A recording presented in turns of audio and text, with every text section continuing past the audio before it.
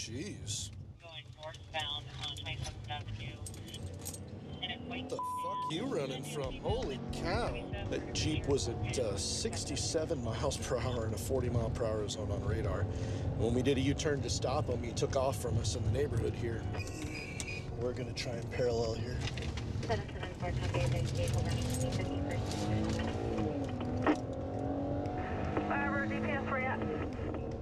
I've lost sight of him.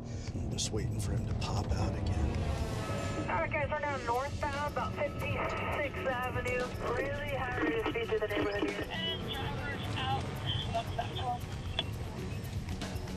And DPS Firebird, we have that guy. Phoenix found our guy here. here it is.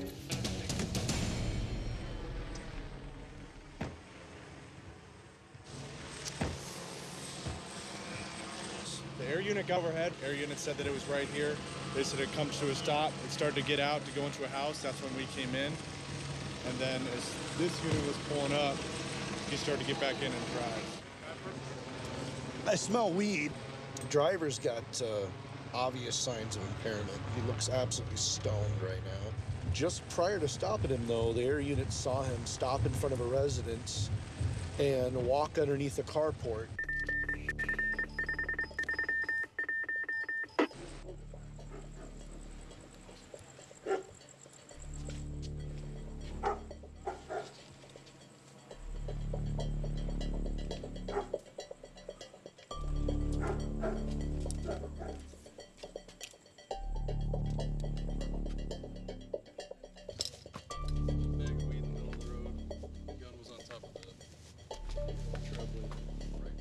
And that's where the air unit saw him go.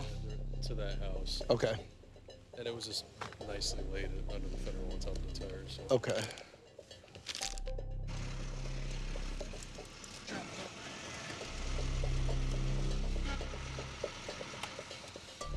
There's a round of ammo right there. How much you want to bet that matches the weapon that we got? We also got a baggie. This is the same kind of baggie that we found the marijuana in that was on the side of the road. He should have just kept the stuff inside the car. Now I'm going to charge him with destruction of evidence, too. So uh, since his driver license is suspended, it's going to be a felony DUI, so we're going to process him for that. I've already applied for a search warrant to get a blood specimen. We've got several felony charges against him.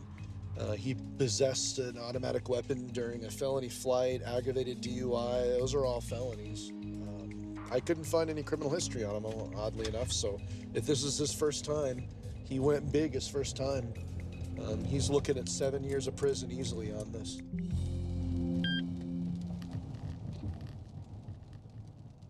Police are here to protect the service. Everyone should take accountability. We should all look to law and order. There should be justice. You should trust the police. It should be a lot more transparency. Come together as a We should nation. fight. There should have been. We should